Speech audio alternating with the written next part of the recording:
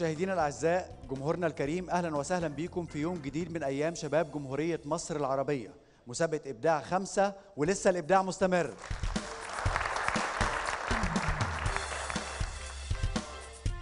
مسابقة إبداع في دورتها الخامسة تحت رعاية المهندس خالد عبد العزيز وزير الشباب والرياضة. الإشراف العام دكتورة أمل جمال سليمان رئيس الإدارة المركزية للبرامج الثقافية والتطوعية. التنسيق الأستاذة نجوى صلاح مدير عام البرامج الثقافية والفنية. أكثر من 110 جامعة ومعهد وأكاديمية وأكثر من 4300 طالب وطالبة بيتنافسوا على جوائز قيمتها 2 مليون جنيه.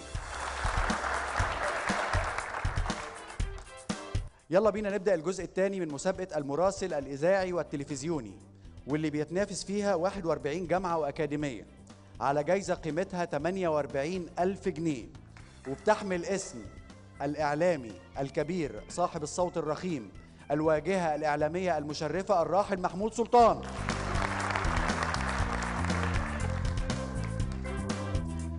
أما لجنة التحكيم اللي مشرفانا النهاردة في مسابقة المراسل الإذاعي والتلفزيوني الإعلامي تامر شحاتة. الإعلامي محمد حسان. الإعلامي محمد عبده. يلا بينا نبدأ المنافسة ولازم يكون عندنا الشعار اللي بنحمله جميعا. إبداع خمسة ولسه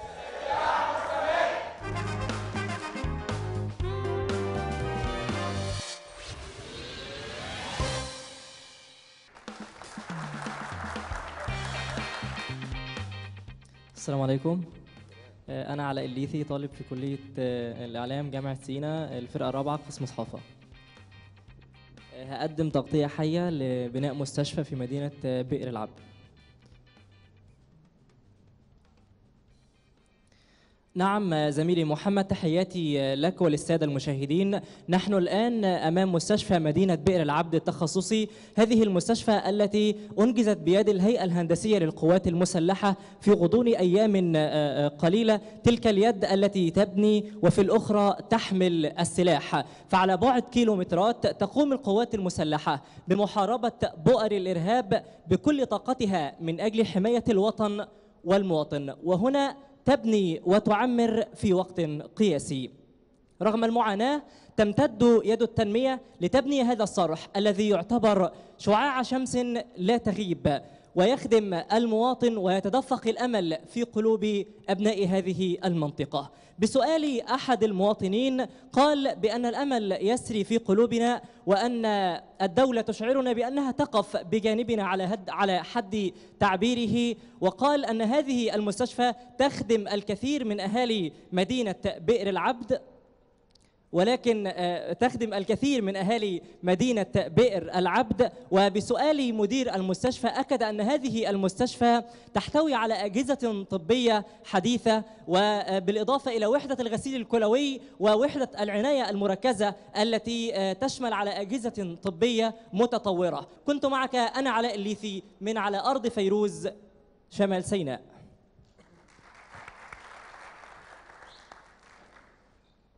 اعمل لنا تقرير عن إعادة افتتاح المستشفى أو يعني بناء المستشفى ورتبه لنا كده علاء. أول حاجة هنبدأ ب voice over تعليق صوتي ليا. ممكن نبدأ بنعمل focus على شيء معين. إن إحنا آه، لو في صورة للوحدة الصحية اللي كانت قبل المستشفى والمعاناة اللي كان بيعانيها المواطنين آه، آه، وأبدأ ب آه، في الوقت ده مثلا آه، 30 ثانية. آه، بعد كده هاخد آه، آراء المواطنين. آه، بعد كده هاخد آه، آراء ال- ال- المسؤولين مدير المستشفى أو ممكن لو في اللي هو كامل وزير. آه، بعد كده هنهي هنهي ال- التقرير بتاعي ب stand up يعني هنرتب مع بعض. voice over vox pops من المواطنين آه، لقاء المسؤول أيا كان stand upper شكرا. شكرا. آه علاء آه حاجة جميلة بجد يعني.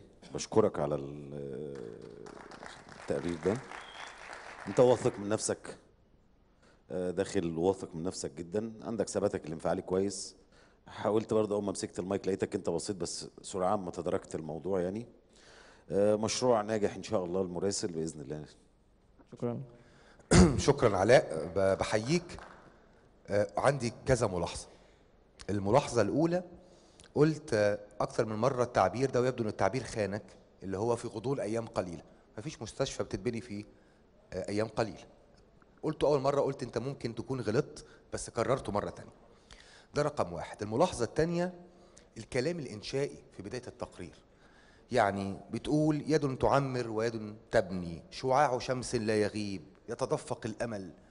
أنا محتاج في الأول في أول التقرير مش الكلام الإنشائي الخطابي ده. محتاج إيه؟ محتاج أرقام وإحصائيات. تقول المستشفى دي آه، اتكلفت كام؟ فيها عدد الأسرة قد إيه؟ مدى توافر المستلزمات الطبية فيها. انت قلت بعد كده ان في وحده غسيل كلوي كلوي آه، وفي مش عارف إيه بس ده متأخر ده أنا عايزه في الأول. التقرير هدفه إيه؟ تقديم معلومة. الملاحظة ال- الأخيرة ودي آه، آه، عاجبني أدائك آه، آه، متفاعل مع الموضوع. مش حاسس كده انك انت بتتكلف لا كنت كنت على طبيعتك بس المشكلة فيما يتعلق باللايف اللي انت قلته في الملاحظات دي. واشكرك مرة تانية وأحييك وأتمنى لك حظ سعيد إن شاء الله. آه، مش هعلق على اللي قاله زميلي محمد عبده لأن كان لدي نفس الملاحظات حول غضون أيام والأرقام وقال بأن وقال آه، أن آه، الأخطاء اللغوية أن الأطباء المكلفون هو لا هي نعت فهي المكلفين إلى آخره. لكن هعلق على بناء التقرير. بدأت voice over خرجت منه ال vox pops. ما فصلتش ما بين ال vox pops وما بين ال sound bite وده لا يجوز. ما فصلتش ما بين ال sound bite وال stand upper وده لا يجوز. فهنا كان هناك مشكلة في كيفية بناء التقرير. لكن بالتوفيق وكنت لديك ثباتا انفعاليا جيدا. أتمنى لك التوفيق إن شاء الله في المرحلة الجاية.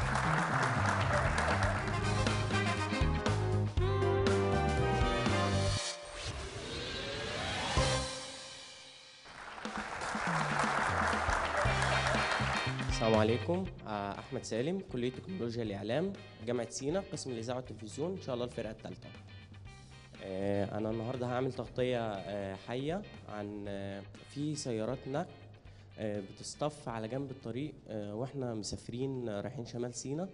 أنا هحاول أنقل ال- الجو الموجود هناك. آه، نعم آه، محمد آه، لعلك ترى على يميني آه، سيارات النقل المصطفى على جانب الطريق الذي يربط بين قناة السويس وقلب مدينة القنطرة شرق. هذه السيارات محملة ببضائع مختلفة تنتج في سيناء أو تستخرج من سيناء كالرخام وملح الطعام والإسمنت. هذه السيارات تصطف بهذا الشكل لمدة تتراوح بين يومين إلى خمسة أيام. آه، آه، طول هذا الطابور آه، لعله آه، يزداد أو ينخفض آه، طوله. آه، من الممكن أن يصل إلى خمسة كيلومترات ومن الممكن في بعض الأيام ألا تجد آه، سيارات. لكن آه، هذا الطابور هذه الظاهرة آه، يراها آه، سكان مدينة القنطرة شرق باستمرار. يراها المسافرون أو العائدون من إحدى آه، مدن محافظة شمال سيناء. آه، طيب يعني آه، أحمد آه، آه، ما وصفته بالظاهرة التي يراها أهل القنطرة آه، غرب؟ آه، ما المشكلة فيها؟ يعني ما المشكلة أو الشكوى التي آه، أو الضرر الذي يحدث بسببها؟ نعم محمد عرض هذا الطريق لا يزيد عن ثماني مترات. آه، آه، السيارات تأخذ أكثر من نصف الطريق. آه، مما آه، يدفع ب- آه، للسيارات الأخرى حارة واحدة فقط لمرور السيارات الأخرى أحمد وما هي الحلول الأخرى من وجهة ن- نظر آه. المسؤول في طبعا آه، هناك آه، أنا كرأيي أنا ما أقدرش أقول آه، رأيي. لا أنا ما بقولكش رأيك. أنا بقول لك آه. إيه الحلول من وجهة نظر المسؤول؟ هناك حلول طرحها آه، السيد آه، الأستاذ السيد أبو الفتوح المهندس السيد أبو الفتوح حيث قال لنا أن هذه السيارات بإمكانها أن تستخدم معدية آه، بور فؤاد وتستطيع ان أن تستخدمها أو معدية نمرة 6 بالإسماعيلية. أحمد آه، لو هتعمل لنا تقرير مصور مسجل عن آه، هذه الظاهرة على حسب تعبيرك هتعمل فيه إيه؟ آه، اولا هاخد آه، خمس ثواني آه، long shot آه، للطريق والسيارات الموجوده عليه.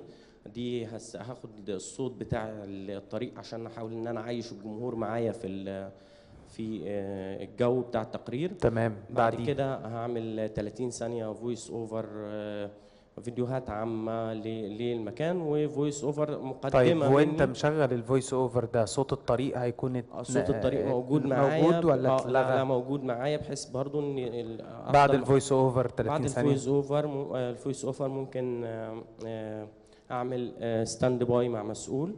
و تقصد sound bite مع مسؤول مع مسؤول. مين المسؤول؟ المسؤول ممكن إذا إذا قدرت إن أنا أوصل لفريق مهاب مميش. رئيس الهيئة وممكن طب هو الفريق مهاب مميش آه، جزء من اختصاصاته آه، إغلاق الكوبري أو هذه الأزمة بتاعت المعدية؟ لا لا. آه، أنا ها ممكن أخده علشان هو ال- المسؤول عن المعديات لأن ال- الحل المؤقت الموجود حاليا ممكن المعديات. طيب. هتاخد قد إيه من الفريق مهاب مميش؟ آه، هاخد منه مثلا 20 ثانية.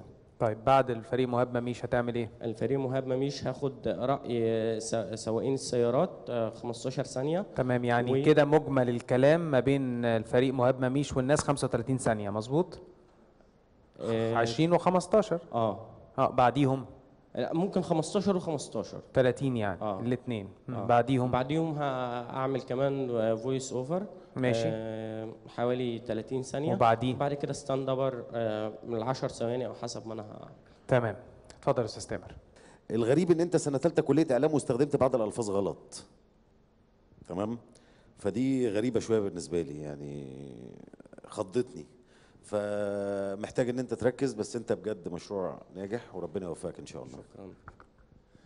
بحييك يا أحمد آه، شغل كويس ومتميز. آه، عندي كذا ملاحظة لغويا في شوية أخطاء كتيرة وفي خطأ كررته كتير وده خطأ المفروض خلاص بقى حاجة بديهية لأي حد طالب إعلام أو حد ممارس. القول أو فعل قال يقول ده من أكثر ال- الكلمات تداولا في النصوص الإخبارية وفي التقارير وفي كله. فبنقول دايما قال إن يقول إن نقلا عن قوله إن. يعني ما بعد القول أو المقول ده لازم يبقى إيه؟ إن, إن. وإحنا في مسابقة إبداع أنت ممكن تبدع انك إنك تخرج من الشكل التقليدي النمطي. أنا وأنت بتتكلم كنت متخيل مثلا وهنا بقى اللي- اللي هيخلينا نعمل زاوية التناول إزاي بعالج التقرير. كنت متخيل معاك طب ما يبقى التقرير مختلف لو مع سواق قاعد جنبه وواخد الرحلة دي من قناة السويس لقنطرة شرق بتتكلم معاه بتقول يعني يعني في أشكال مختلفة ممكن إنها تطرح تبقى بعيدا عن التقليدية. أنا ما بقولش إن الشكل اللي أنت بتقوله ده اللي عملته ده, ده جهد هايل. هو ده زي ما الكتاب بيقول عندنا في الإعلام. أستاذ محمد قال لك إيه؟ قال لك تختار ح- اختار حاجة واحدة بس اتكلم عن أنجل واحد بس. مش مش أكتر من حاجة. يعني تتكلم عن معاناة السواقين. خلاص؟ آه معاناة السواقين دي حاجة معاناة الناس بقى اللي ماشية في الطرق ده حاجة تانية. ده ده, ده, ده feature تاني. طبقة القرار. انت وانت بتكلمنا عادي بتكلمنا من الطبقة الأحلى لديك. ولما بتطلع live بتطلع للجواب وهو مش الطبقة الحلوة عندك. فاتكلم دائما من القرار اللي انت وانت بتناقشنا بتتكلم منه. بص كده صوتك هيبقى أكثر آه، قوة وصوت رخيم صوت عريض وده هيكون مناسب أكتر للحالة الإخبارية. شكرا بالتوفيق. شكرا لكم أنا سعيد إن أنا وقفت قدامكم وسعيد إن أنا شاركت في دورة الأستاذ محمود سلطان. شكرا. شكرا جزيلا.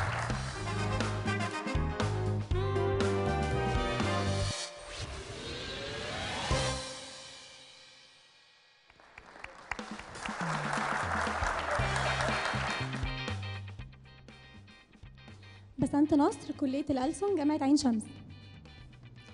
انطفأت شعلة الأولمبياد اختتمت الآن دورة الألعاب الأولمبية الأولى بأمريكا الجنوبية هنا بملعب ماراكانا الأسطوري بمدينة ريو دي جانيرو البرازيلية. في حفل اتسم بطابع كرنفالي خاص استمر قرابة ثلاث ساعات. قدموا خلالها رسائل حقيقية للتسامح والسلام والمعايشة. وعلى غرار حفل الافتتاح كانت الموسيقى هي الحيز الأكبر بحفل الختام. بين مزيج من رقصات السامبا والألعاب النارية والاحتفالية كان من أبرز الفقرات تسلم اليابان للعلم الأولمبي وتقمص رئيس الوزراء الياباني لشخصية سوبر ماريو حيث تعقد الدورة القادمة 2020 بالعاصمة اليابانية طوكيو. حضر الحفل على الأقل ثماني رؤساء دول وحكومات قد شهدت هذه الدورة مشاركة أولى لدول مثل كوسوفو وجنوب السودان. أما عن حصاد ريو 2016 فكان للولايات المتحدة الأمريكية نصيب الأسد بعدد 121 ميدالية تليها الصين ب 67 ثم بريطانيا ب 70 ميدالية بفارق ذهب. وانتقالا للبعثات العربية فقد سجلت 14 ميدالية ذهبيتان وأربع فضيات وثماني برونزيات. تسجل منها الأردن اسمها في جدول ميداليات الذهب لأول مرة في التاريخ.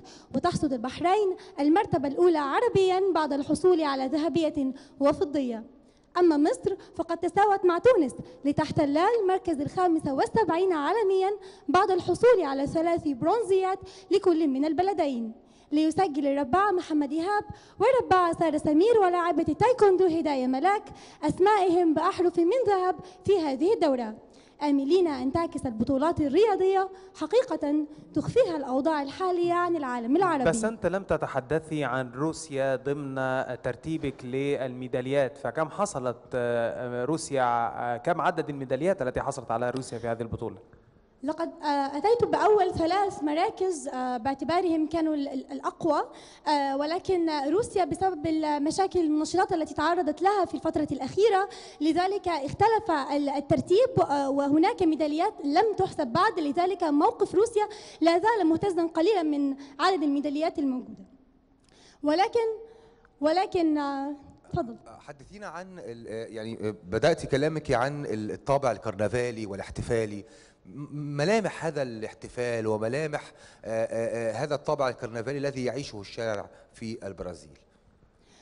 البرازيل تعيش حالة قوية جدا من الاحتفالات والكرنفال يعتبر ال- الممتد لساعات طويلة بعد التنظيم الجيد الذي قامت به البرازيل لهذه الدورة وهم الآن يحتفلون كأنه عرس آه، في ختامه يعني.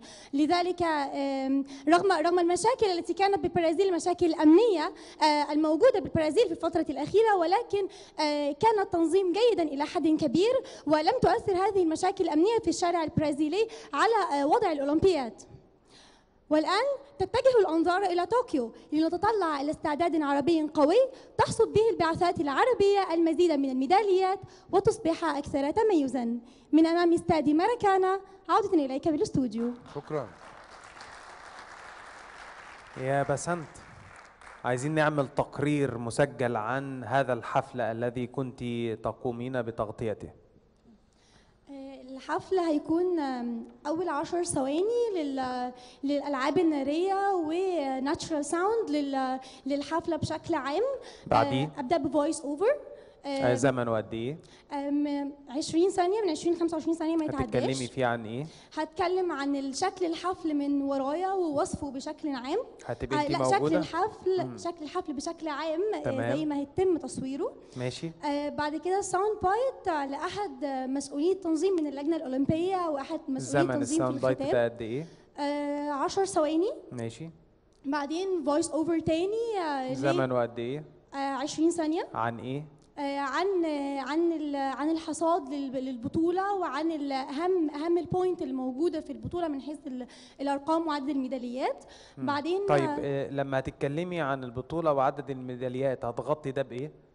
هغطي ده ب- بأهم بأهم الم- بالأهم المراكز الموجودة أو بال يعني هتغطيه بفيديو ولا تغطيه الصورة؟ هيبقى الم- المعادل البصري إيه؟ هيبقى موجود آه، صورة لل صورة للتس- لل- للعلم ال- في المركز الأول علم آه، جرافيك آه، يعني. للتوضيحي تمام. لا آه، وقت تسليم الميداليات آه، ماشي. وارتفاع العلم الأمريكي ثم العلم البريطاني ثم الصيني. ماشي. آه بعدين آه sound bite تاني ل... ل... لم... هبدأ أتكلم عن البعثات العربية لمدرب آه لمدرب ال- التايكوندو لهدايه ملاك أو لرفع ال- الأثقال لمحمد أو آه لسارة سمير. آه بعدين voice over بقول فيه الجزء بالخاص بال... بالع... بالعرب. آه وبعدين stand up تمام. بسنت آه، تحياتي ليكي. شكرا لحضرتك. آه، انت ما بتاخديش نفسك. عشان توتر تمام؟ عايزك تقفي على الجمل. انت ما بتقفيش على الجملة يعني إن في حاجات بتعديني ما, ب... ما بفهمهاش. م- السرعة بت... بتاكلها. تمام؟ انت ماسكة الموضوع كويس محضرة له جاهزة له طبعا. آه عجبني معلوماتك قوية يعني لما حاولوا يتدخلوا ما برضو انت كنت ماسكة الموضوع. بتحاولي تهربي يعني بتع... بتعرفي تروغي يعني. آه، ثباتك الانفعالي كويس فربنا يوفقك وإن شاء الله مشروع مراسل ناجح إن شاء الله. أشكرك آه، بسنت وبحييكي أداء آه، راقي ومتميز وفيه إيقاع وسرعه وده المطلوب حتى تحديدا من المراسل الرياضي. بس دايما بأكد برضو على فكرة إن إحنا محتاجين نختار زاوية أو نختار تفصيلة معينة. يعني حدث ضخم زي آه، الأولمبياد في ريو دي جانيرو. ممكن آخد تفصيلة وبعدين مليان بتفاصيل كتيرة جدا. من الشارع من ال- آه، انت اللي انت قلتيه ده حلو وكويس. إن ده حفل الختام فبحاول ألم كل ال points اللي كانت موجودة على مدار وقت الدورة بشكل كبير بالظبط. يعني. بتجيبي الحصاد بتاعه كله بتجيبي أهم المعلومات الموجوده لكن ممكن أعمل focus على مدخل مختلف أو حاجة معينة كانت في حفل الختام. اللي ضايقني شوية وزعلني منك يا بسنت اللغة. ليه بقى؟ لأنك بادية لغتك كانت كويسة وتوسمت فيكي خيرا كده حد يعني مش هتغلطي. بس يبدو إن إيه وقعتي وقعات هقولها لك سريعا ثلاث وقعات. قلتي قدموا رسائل حقيقية هي قدموا رسائل حقيقية. حقيقية. حقيقيه آه، قلتي ثمانية رؤساء. ثماني رؤساء. لا قلت ثما... قلت ثماني رؤساء. ثماني رؤساء دول وحكومات آه هي ثمانية. هي رئيس مذكر ولا مؤنث؟ آه لا مذكر. مذكر. يبقى. ثمانية تعمل إيه؟ تخالف تبقى. ثمانية. لا، لا إحنا بنرجع اللي بعدها على طول آه رؤساء. آه. آه قلتي برضو هنا في مشكلة برضو تراجع الع- العدد لأنك قلتي أربع آه عشرة ميدالية وهي أر... آه آه 14. لا، قلتي أربعة عشرة ميدالية وهي ال- الصح طبعا أربعة 14. عشرة ميدالية وسجلوا أسمائهم وهي سجلوا إيه؟ قولي لا سجلوا أسمائهم أسمائهم انت قلتي اسمائهم فيمكن ده من التوتر. بس آه، آه، أشيد بأدائك الرياضي وقدرتك على وصف الحدث يعني واخدة بالك كويس جدا ومذاكرة الموضوع كويس. بالتوفيق إن شاء الله بس يا بسنت. آه لن آه آه أطيل آه بعد زملائي لكن أنا يمكن مل- ملاحظتي الإيجابية إنك بنيت التقرير بناء سليم جدا ما فيهوش ولا غلطة. آه ولكن ملاحظتي السلبية بعيدا عن اللغة فكرة استخدام طبقة الجواب. لأن طبقة الجواب هتشرخ صوتك هتبقى مزعجة للناس وفي نفس الوقت آه، مش هت مش هتخدمك طول الوقت. فإحنا محتاجين نتعلم كيف نقرأ من طبقة القرار لكن مشروع هايل. شكرا.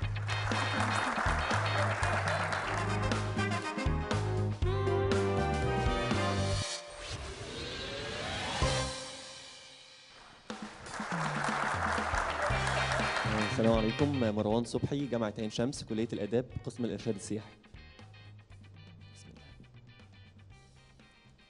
لله ما أعطى ولله ما أخذ وإنا لله وإنا إليه راجعون. انفجار هائل طال الكنيسة البطرسية المجمع الأكبر للأقباط الأرثوذكس بمنطقة العباسية. ومن مسؤولي وزارة الصحة أنه قتل خلاله خمس خمسة وعشرون شخصا على أقل تقدير. وأصيب نحو خمسين بعضهم حالات حالات خطرة. كما أكد إلينا أحد المصادر الأمنية أن الانفجار ناجم عن عبوة ناسفة تزن نحو 12 كيلو جراما من مادة تي ان تي الشديدة الانفعال ومنذ قليل وصل النائب العام هنا بموقع الانفجار. ليعاين الموقف بنفسه مروان يعني آه، تحدثت عن أنك وصلت لمعلومات آه، من مسؤول بوزارة الصحة. نعم. نحن نريد أن نوفق للجمهور المعلومة مع من تحدثت بوزارة الصحة أو على لسان من صدرت هذه المعلومات. صدرت عن رئيس جامعة عين شمس عن رئيس جامعة عين شمس باستقبال ال- المصابين والجرحى والقتلى آه، بمستشفى الدمرداش. وهل مستشفى الدمرداش فقط التي استقبلت الجرحى أو هي تمثل وزارة الصحة؟ هي أقرب مستشفى إلى إلى الكنيسة آه، فنقل إليها جميع الجرحى والقتلى. أيضا أحد شهود العيان زميلي محمد حرفيا قال أنا عمري ما سمعت صوت بالقوة دي. بينما قال أحد أهالي الضحايا ابني ما عملش حاجة تستاهل عليها الموت. وهكذا أمهات ثكلى لا تحملن بأيديهن سوى أغصان الزيتون. وأطفال موتى لا يحملون بأيديهم سوى أكياس الحلوى وقساوسة ورجال دين لا يحملون بصدورهم سوى الله. نيح الله أرواحهم ومرة أخرى ننعي شهداء الوطن فلهم من الجزاء ما لهم ونرفع أصواتنا بالدعاء على الإرهابيين فعليهم من الجزاء ما عليهم. أما أنت فلك الله يا مصر. مروان صبحي التلفزيون المصري من أمام الكنيسة البطرسية.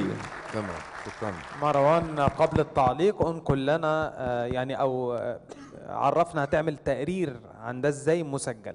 أول حاجة هبدأ باستابليشنج من آه، within 5 أو 7 minutes كده seconds هتكلم فيهم عن آه، صوت الانفجار هيبقى داخل فيها صوت الانفجار وال وال crashes اللي حصلت يعني. آه، بعد كده هيبقى في voice over أول voice over ليا هبقى من 20 ل 25 ثانية. هيبقى outing بتكلم فيه عن آه، بجيب فيه آه، مش هبقى ظاهر فيه بس voice over بس آه، عن ال- الحشود اللي بره والرجال المطافي بتعمل إيه ورجال الإسعاف بتعمل إيه والأهالي أو حتى المواطنين العاديين بيعملوا إيه. يعني إحنا خرجنا من establishing shot ل voice over نعم. ل voice over تاني؟ لا من voice over ل sound بقى ال- التالت. sound bite مع مين بقى؟ sound bite هيبقى أول واحد مع واحد من أهالي الضحايا. ماشي. هيبقى- أول واحد ده زمنه قد إيه؟ خ... آه، ال- ال sound bite ده هيبقى 15 ثانية. بعد تمام. كده voice over تاني هيبقى inner بقى من جوه ال- الكنيسة. آه، بعد ك- ده هيبقى زمنه من 20 ل 25 ثانية. بعد كده هيبقى حاجة مع آه، أحد آه، منظمي الأمن اللي متواجدين عشان نبقى جايبين الرأيين لأن أهالي الض- ال- الضحايا هيبقوا جايين جدا على الأمن وكده. ولازم برضو نسمع الطرف الآخر فهيبقى مع أحد مسؤولي الأمن. ثم هطلع ب voice over أخير آه، ختامي. ثم هطلع بال بال stand upper بتاعي. ال stand upper بتاعك هتعمله فين؟ آه، من أمام ال- الكنيسة. زمنه قد إيه؟ آه، زمنه حوالي آه، 10 ثواني مثلا أو 12 ثانية. محضره؟ آه. انت ما تقوله. بس ما تقوله من غير ما تبص الورق ممكن؟ فمرة أخرى ننعي شهداء الوطن جميعا فلهم من الجزاء ما لهم. وكما نرفع أصواتنا بالدعاء على الإرهابيين فعليهم من الجزاء ما عليهم. أما أنت فلك الله يا مصر. مروان صبحي من أمام الكنيسة الكاتدرائية. برافو يا مروان. برافو. أستاذ محمد حب يزنقك برضه؟ كالعادة. تمام. آه لا مروان انت جميل. آه الأستاذ محمد حب يلعب معاك يشوف انت هتعمل إيه فانت أثبت آه ثباتك الانفعالي. ولغة الجسد عندك انت اتعاملت بيها يعني الاكسبريشن بتاعك كان عاجبني. كنت حاسس فعلا إن أنا بتفرج على تقرير من أمام الكاتدرائية حاجة فيها حزن. شكرا. ربنا يوفقك إن شاء الله ونسمع عنك حاجة كويسة إن شاء تسلم لي الله. ربنا يكرمك. شكرا آه، مروان. بحييك آه، على ثباتك وبحييك على آه، تفاعلك حتى مع الأسئلة بشكل يبين أو يظهر إن أنت فعلا يعني على دراية كويسة أو على دراية آه، آه، بأبعاد الحادث اللي أنت بتغطيه. فبجد يعني أحسنت في النقطة دي. شكراً. وأحسنت كمان في التعبير اللغوي بتاعك. وأنت بتتكلم لا صوتك عالي قوي طبقة طبقة الصوت. لا صوتك عالي ولا صوتك آه، يعني في طبقة ما هياش مناسبة. لأ أنت اخترت طبقة صحيحة. وصوتك كان واصل وبوصل الأفكار. فأنا بحييك على ده. في هنات في اللغة طبعا محتاج تشتغل عليها. و و ومحتاج حتى في التعبيرات نفسها يعني شديدة الحراسة الكنيسة مش عارف يعني في بعض ال ال الكلمات الناقصه الجملة في بعض الأحيان لا تكتمل. كنيسة شديدة الحراسة يعني إيه؟ كنيسة تقع عليها أو مفروض يعني حولها تشدد الحراسة. ممكن نكمل ال ال الكلمات الناقصة لكن بشكل عام أنا مبسوط من أدائك وختامك لما قلته وأنت بترتجل أفضل بكتير من الورق وحاول دايما تحط الورق كده على جنب. بالتوفيق. شكرا لحضرتك. يا مر... يا مروان. قلت راجعون قلت راجعون وهي آية قرآنية. القرآن لا يقرأ إلا بلهجة قريش ونزل على سبعة أحرف لم تكن منهم الجيم القاهرية. فهنا نقول ما لم نقله من قبل. يجب عليك هنا أن تعطش الجيم. فهي في القرآن تقرأ هكذا. النقطة الثانية بعض الهنات اللي قال عليها زميلي محمد زي لكن المصريين. لو قلت لكن تبقى المصريين قلت لكن يبقى المصريون. خلي بالك إن السكون من الشدة بتفرق. استخدمت في الآخر تعبيرات بلاغية وهي غير مرغوبة في التقارير. وغصن الزيتون جيت في الستاند أبر لما عملت التقرير بنيت التقرير بناء سليم 100% ولكن أخطأت في إنك جيت في الستاند أبر وبدأت تبقى موجود. أنت هندي بتعمل تقرير عن مصر ليس من حقك أن تنعي ولا ما تنعيش. ده تاخده الجهات محطتك عايزة تنعي تنزل نعي. محطتك عايزة آه، أو الدولة عايزة تعمل حداد الدولة تعمل حداد. أنت تنقل الحدث لكن لا تبدي رأيك. شكرا شكرا.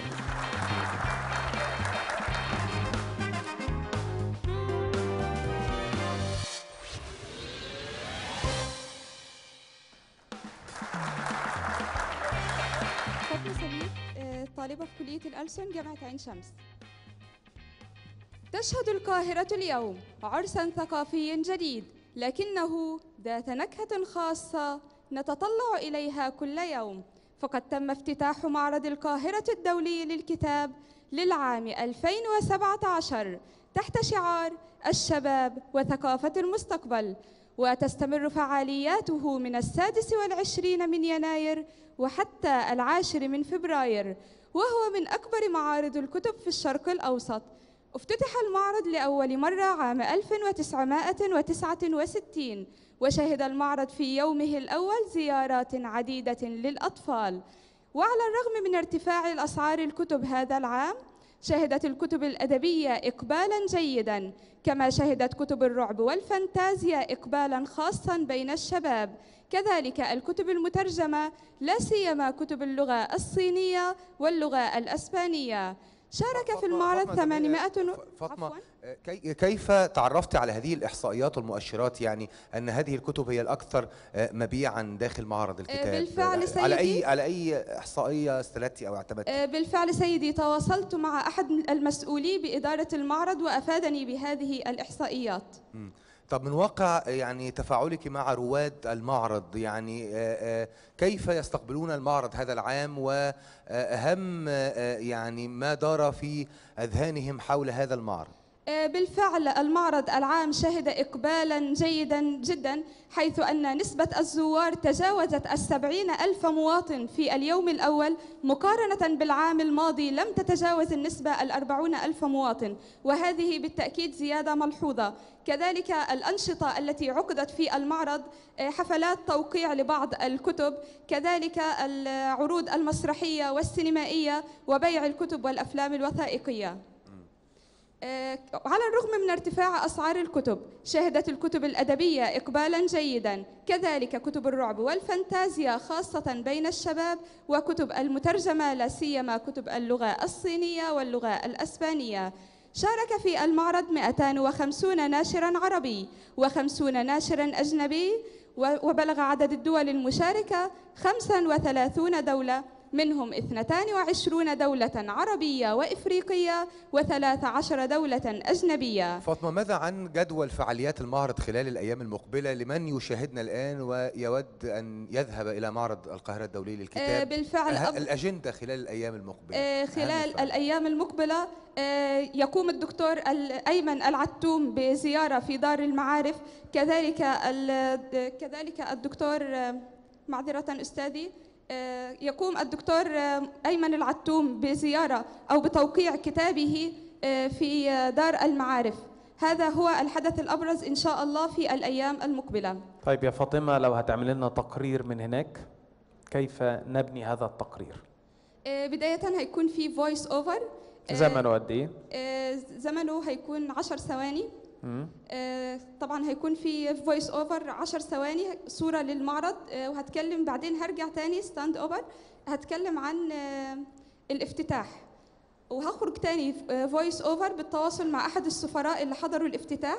وهرجع مرة تانية آه، أتكلم آه، عن آه، أسعار الكتب. وبعدين هرجع مرة تانية أتواصل مع الناس أسألهم آخد فيدباك على أسعار الكتب. تمام. اتفضل. طيب آه آه، يعني وصلت وصل البناء. آه نبدأ تعليقات من زميلي تامر. اتفضل يا تامر. آه، فاطمة تحياتي ليكي. أشكرك. آه، عندي كم ملحوظة؟ يعني وقفت عندهم. مخارج الألفاظ مخارج الحروف. يعني الأطفال سمعتها الأطفال بالت مبدئيا. خلاص استخدمتي الألفاظ زي آه، سيدي وأستاذي بالرغم ان آه، زملائي كانوا اتكلموا في الحتة دي. بلاش إن إحنا نتكلف في استخدام الألفاظ. تمام؟ أما ثباتك الانفعالي ده كويس ده حاجة جميلة عجبتني يعني. آه، متمكنة. آه، عارفة أنت هتعملي إيه فربنا يوفقك إن شاء الله ومشروع ناجح بإذن الله. شكرا. احسنت يا فاطمة. آه، أداء كويس ليا ملاحظات سريعة. المد في الكلام يعني الصوت في بداية التقرير مش حاسه إنه ده صوت مراسل تلفزيوني في مد نكهة خاصة. ليه؟ إحنا ما بنقولش قصيدة شعرية. ده بيعود لاني كنت عايشة في دولة عربية. تمام.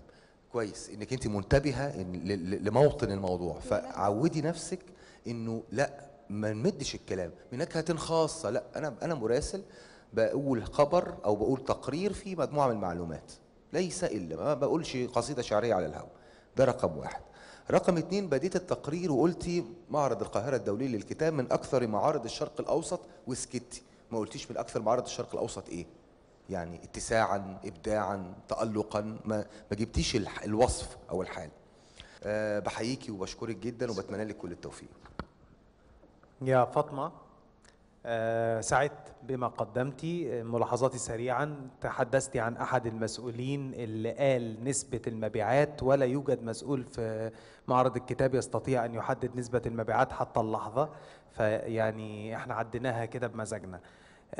كنت هسأل عن اللهجة فأنت أجبتي أن كنت عايشة بره آه، بتتكلمي من الجواب والجواب آه، علقت عليه قبل كده. حاولي تخلي الطبقة العريضة لكن بناء التقرير كان فيه مشكلة. أنت بتطلعي stand upper مرة واحدة بس بيبقى فيه جوه بقى voice over بيبقى فيه sound bite بيبقى فيه vox pops وبيبقى فيه ليهم أزمنة. فحاولي أن تقرأي في ذلك. بشكرك وبالتوفيق. شكرا.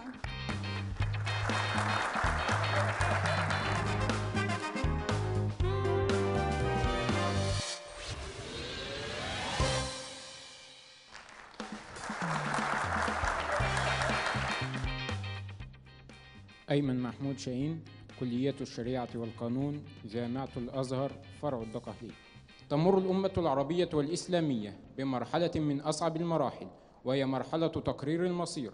فلا بد وأن تتوحد كلمتها وإرادتها وأن تنتبه وتقف في وجه كل عدو وكل غادر وظالم وكل من يدبر المكيدة ويريد المساس بأمن وسلامة الدول العربية والإسلامية. فمنذ عشرات السنين ويراودنا حلم الوحدة العربية. فماذا بعد مرور 71 عاما مضت على إنشاء جامعة الدول العربية؟ وماذا بعد تولي السيد أحمد أبو الغيط أمينا عاما لجامعة الدول العربية؟ وقد انقسم رأي الشارع المصري إلى معارض ومؤيد بشدة. فهل ينعكس ذلك على الملفات والأوضاع؟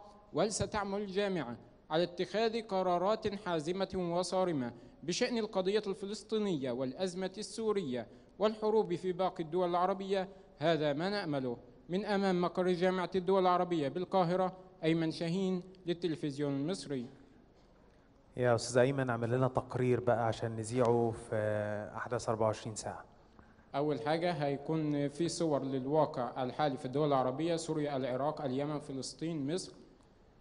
voice over 30 ثانية أو 25 ثانية مني.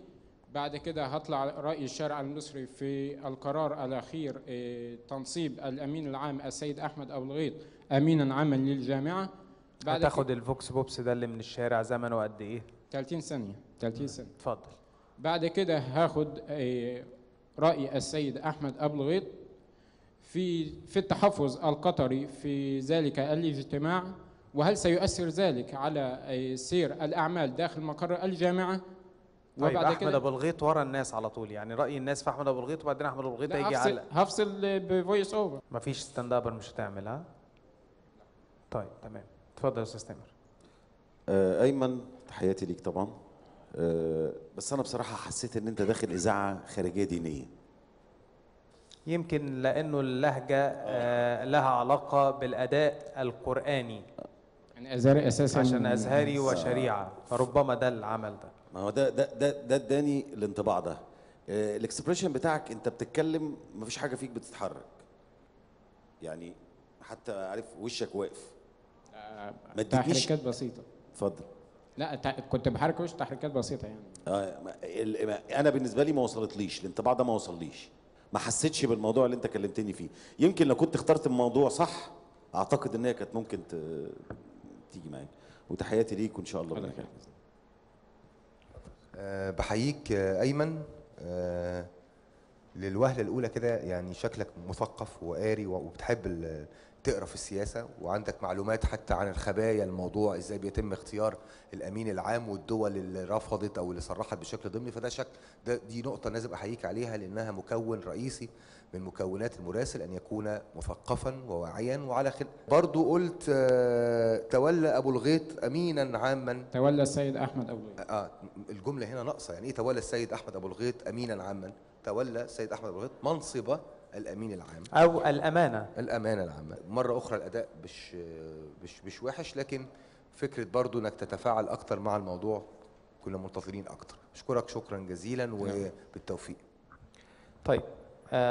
ربما تبقى معلومة جديدة ليك ولغيرك. لا يبدأ التقرير بفعل. يبدأ التقرير باسم وتجاوزا أحيانا يبدأ بحرف. لأن من يبدأ بالفعل هو الليد الذي يقرأه المذيع في الاستوديو لتقديم التقرير. فأنت بدأت بتمر. فده خطأ. وبناء التقرير كان فيه بعض الأخطاء فخلي بالك منها. أتمنى لك التوفيق أيمن. اتفضل. تحياتي.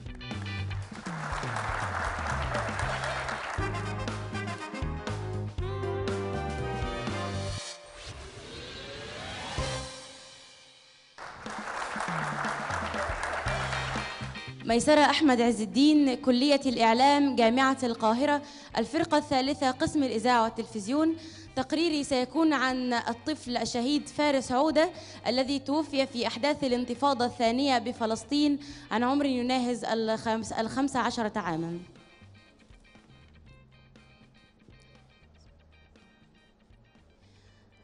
أعزائنا المشاهدين من كل أنحاء الوطن العربي نحدثكم اليوم من غزة.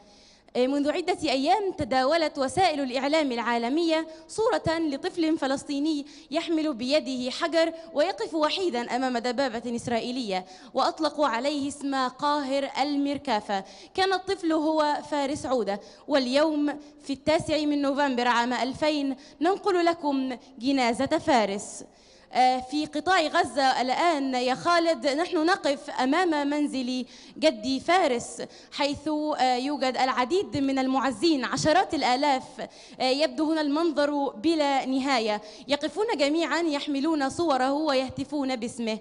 يذكرنا هذا بكيفية وفاة فارس بالأمس حيث تلقى عيارا ناريا في رأسه في مواجهة مع إحدى الدبابات الإسرائيلية وسقط على الأرض لينزف ساعة كاملة. قبل أن يستطيعوا نقله إلى المستشفى ليلفظ هناك أنفاسه الأخيرة.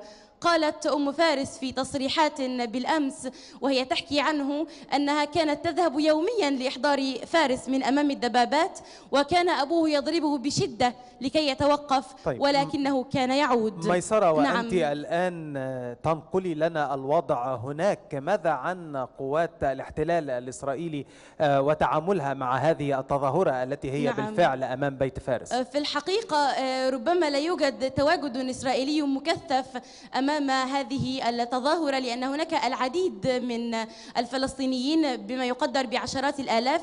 سيكون من الصعب جدا السيطرة على الوضع هناك من قبل القوات الإسرائيلية كما أنه هناك مشاعر غضب عارمة جراء أحداث الانتفاضة التي بدأت في سبتمبر. فسيكون هناك ربما خوف آه، من ردود الفعل التي قد يقوم بها الفلسطينيين. عودة إلى ال- الجنازة زميلي آه، خالد. آه، في الحقيقة آه، الآن بدأ التحرك من أمام شارع صلاح الدين لنذهب إلى مقابر الشهداء بالنصيرات حيث سيدفن فارس. كما ترى أمامك آه، زميلي ال- الكثير من الأعلام فلسطين آه، تسود المكان. كما توجد سيارات تحمل الكثير من الناس ذوي ال- العيون الباكية. وترى أمامك الأطفال يرقصون ويغنون شيئا ما. بالطبع كان هذا المنظر آه، غريبا ربما لبعض المشاهدين. وقمنا بسؤالهم بالفعل منذ قليل. قالوا أن هذه ال- الأغنية ك- قد الفها فارس بنفسه وأنهم يقلدونه بنفسه وأنهم يقلدونه آه، فيما كان يفعل حيث كان فارس يدبك الدبكة الفلسطينية حين كان يلقي بالأحجار على الدبابات الإسرائيلية. بل ولقبه اصدقائه بالدبكي. كان يقول لو كسروا عظامي مش خايف لو هدوا البيت مش خايف.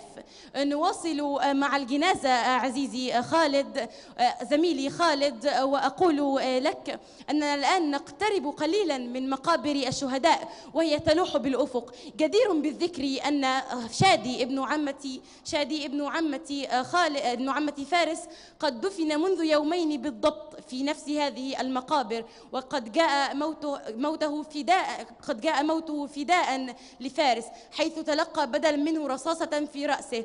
آه، أثر الأمر في فارس حتى أن شهادة أصدقائهما تقول أن فارس ومنذ ذلك اليوم يتحدث عن الشهادة.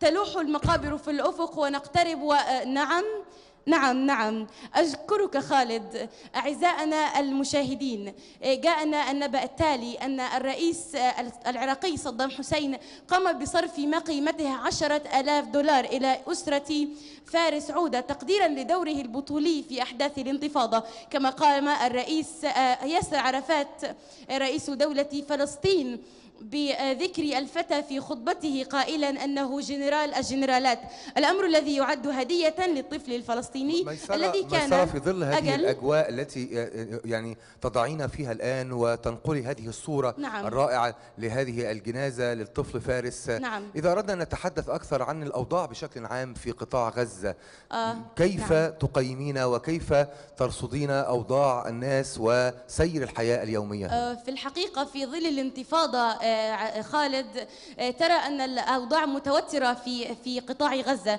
حيث آه، لا يفكر الآن الأهالي سوى في آه، أعداد المصابين وأعداد الضحايا. آه، آه، هناك الكثير بالطبع من النقص في شكراً. المواد الغذائية شكرا وغيره. ميسرة. وقولي لنا التقرير بتاعك يبقى إزاي لو أنت بتعملي تقرير مسجل؟ التقرير المسجل سيكون كالآتي. آه، ثلاث آه، أو خمس آه، آه، ثوان في البداية. ستكون فيها صور أرشيفية آه، لخالد آه، لفارس حيث كان ال- الواجهة لصحيفة أسوشيتد بريس حين التقطت له هذه الصورة. نعم. كانت صورة أيقونية آه، ستوضع له هذه الصورة. ثم صورة وهو مصاب بالمشفى ومعه والدته. آه، ثم بعد ذلك سأنتقل إلى voice over مع footage مصور آه، لجنا- للجنازة. زمن زمن ال voice over قد إيه؟ زمن ال voice over لا يتعدى العشرين ثانية بعدين؟ آه، بالنسبة لهذا التقرير ثم بعد ذلك سأخذ vox pops أو voice of people مع بعض ال- الرواد ال- الجنازة كم واحد هتاخديهم؟ آه، سأخذ أربعة بالضبط ولا يتعدى العشرين الأربعة ثانية دول هيكون آه، يعني آه، رجالة ستات صغيرين يعني آه، آه،. الجنازة في الحقيقة لقد رأيت الجنازة آه،. وأحضرت العديد من الفيديوهات لها فلم يكن يوجد سوى الأطفال والشيوخ والرجال. فسيكون هناك بالطبع آه، طفل آه، وشيخ وربما رجلين أو مجمل الأربعة. هيكونوا قد إيه؟ 20 ثانية نعم. بالضبط ثم بعد ذلك أنتقل ب voice over إلى نعم. مقابلة مع والدتي الطفل فارس. آه، ستتحدث عن آه، ما قبل موته إرهاصات ذلك حيث كانت له إرهاصات خرجتي من ال voice. over لمين؟ من voice over إلى voice over آخر لبيت آخر آه، سيكون مع أحد طيب أصدقائه ال voice over الأولاني والتاني زمانهم على بعض قد إيه؟ آه، 30 ثانية آه،. ثم بعد ذلك سأنتقل ب voice over على inserts للجنازة نعم. سيكون فيها ملخص ما حدث تقصدي اللي فات ما كانش voice over بقى تقصدي sound bite sound bite الاثنين على بعض 30 آه، ثانية أنا أنا فقط ما قصدته voice over ينقلني إلى ال sound bite، تمام. ثم voice over ينقلني إلى sound bite آخر تمام. ثم في النهاية ال voice over على ال insertات التي تلخص آه، ما هتعملي stand upper. ولا لأ؟ آه، بدون stand upper على الإطلاق هتمضي بصوتك في الآخر؟ آه، سأقول في النهاية ميسرة أحمد عز الدين قناة العرب غزة عودة طيب ميسرة أحمد عز خالد. الدين ميسرة أحمد عز الدين ده بنسميه إيه؟ الإمضة دي بنسميها إيه؟ آه، آه، اسم المراسل نعم يعني إمضائك في الآخر ده اسمه إيه؟ آه، القائم بالاتصال آه، اسمه sign off sign off بس انت عظيمة أشكرك أشكرك بشدة أشكرك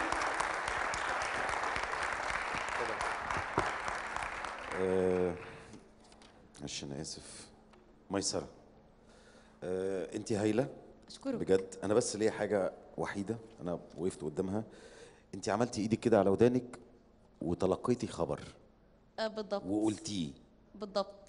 هل وظيفة المراسل إن يجي له خبر من الاستوديو فيقول في نبأ عاجل ورد إلينا الآن؟ كان من الصعب جدا أن ننتقل على ال- الهواء إلى الاستوديو لأن كانت هناك آه، آه، مشاهد مهمة للغاية الخبر جاي منين؟ انت من عرفتي الاستوديو؟ منين ولا جاي منين؟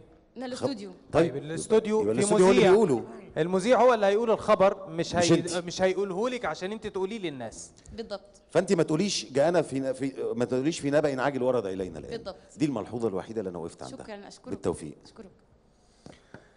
مش عارف أقول إيه والله. يعني. ممتازة ورائعة و... وبجد يعني حاجة تشرف حقيقة يعني أنت من غزة أنا من مصر من مطروح من مطروح واصلا من- أصول غزاوية. يعني لك أصول من آه، كنت سأتشرف ولكنني من مصر وأتشرف بمصر وبهويتي العربية آه. بشكل عام ملاحظتي الأولى يعني يجب أن نحيي ونشيد بحرصها الشديد واعتنائها الشديد باللغة العربية لدرجة أنها لما زميلي العزيز محمد حسان بيقول لها تبني التقرير إزاي؟ فقالت أبتدي بخمس ثواني. ما قالتش يعني يعني حتى شكلتها لغويا صح ما قالتش خمس ثواني لا خمس خمس ثواني. فتحية لك لاعتزازك بلغتك وباللغة العربية وهي محل اعتزاز وتقدير وفخر منا جميعا يعني. فدي نقطة.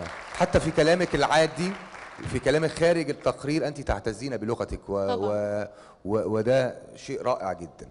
آه، تحية لك للوصف ل- لفكره تقمص الحالة. أنت لم تنقلي صورة نقلا يعني آه، آه، فقط عبر الكلام لكن نقلتيها بالمشاعر آه، بالحس اللغوي وأيضا بتعبيرات الوجه.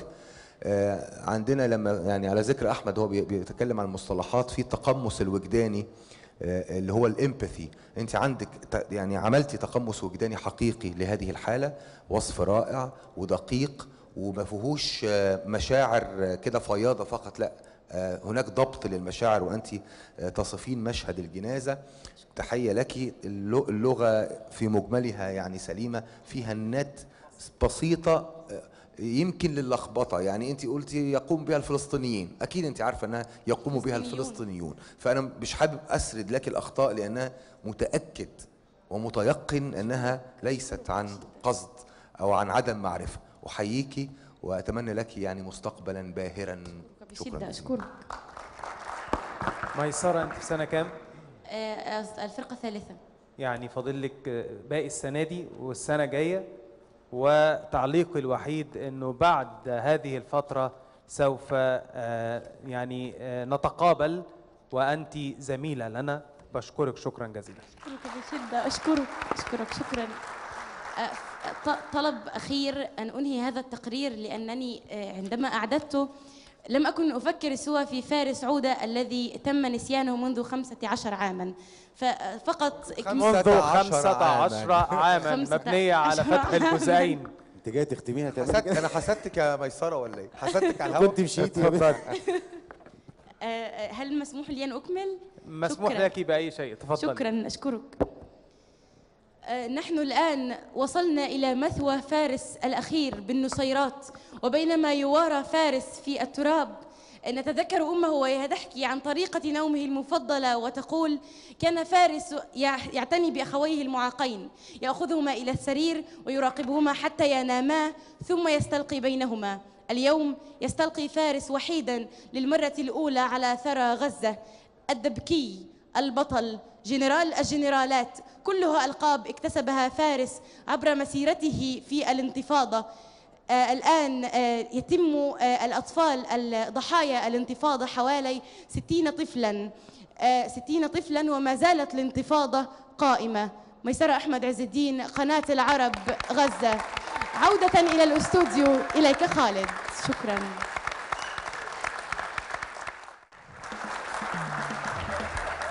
في نهاية فعاليات اليوم الثاني من مسابقة المراسل الإذاعي والتلفزيوني. نكون وصلنا لختام حلقة النهاردة من مسابقة إبداع خمسة ولسه الإبداع مستمر.